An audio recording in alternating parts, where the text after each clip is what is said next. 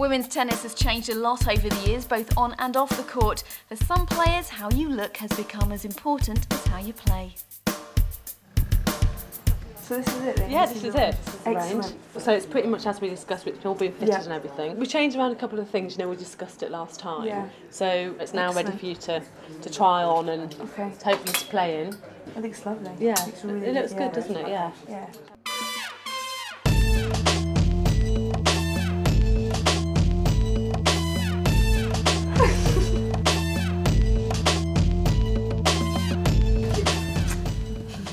Play well. Thank you. Where, where are you next week? You playing? Uh, Rondars.